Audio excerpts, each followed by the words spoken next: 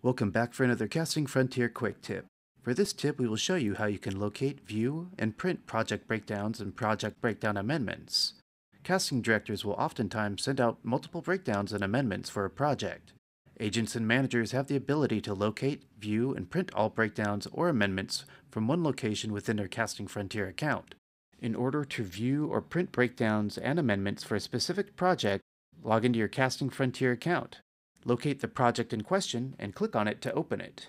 Once the project is open, click on the Breakdowns tab at the top of the page. Locate the breakdown you wish to view and click on it. Click the Print button to download and print.